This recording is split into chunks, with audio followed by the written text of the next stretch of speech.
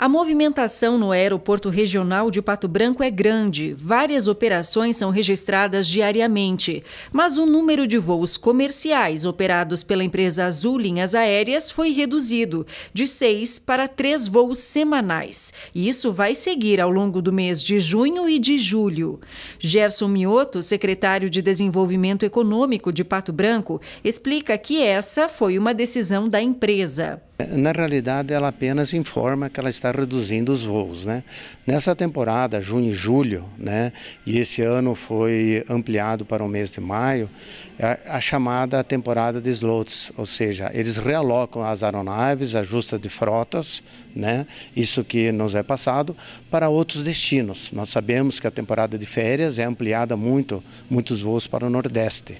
Né? Então nós temos aí uma ampliação de mais de 4.200 voos para aquela região do país. Então é uma prerrogativa da companhia aérea, no caso aqui no Aeroporto Regional da Azul, em fazer esses ajustes. Né? Então ela apenas comunica o aeroporto regional e a administração pública que ela está fazendo esses ajustes. Segundo ele, a redução no número de voos não está relacionada à ocupação das aeronaves. Nós temos de janeiro de 2024 até o mês passado 75% da ocupação né, nas aeronaves da companhia aérea. É, hoje, por exemplo, você dificilmente vai conseguir uma passagem durante a semana ou, digamos, na próxima semana. Né?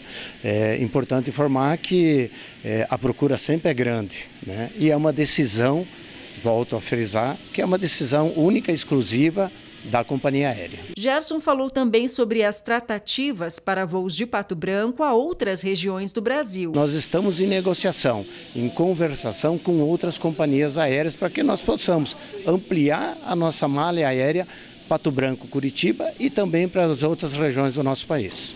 Nesta terça-feira, teve início mais uma obra aqui no Aeroporto Regional de Pato Branco. Desta vez, o aterramento da lateral de uma das cabeceiras da pista. Obra que vai seguir pelos próximos meses. Para esta obra serão movimentados mais de 80 mil metros cúbicos de terra. O material necessário será retirado do Parque Industrial Eduardo Dágios e trazido até aqui ao aeroporto. Essa é uma prerrogativa né, da ANAC e da SAC, onde nós temos que fazer o aterro da lateral da cabeceira 25 para que nós possamos ampliar também os 75 metros do eixo da pista para 140.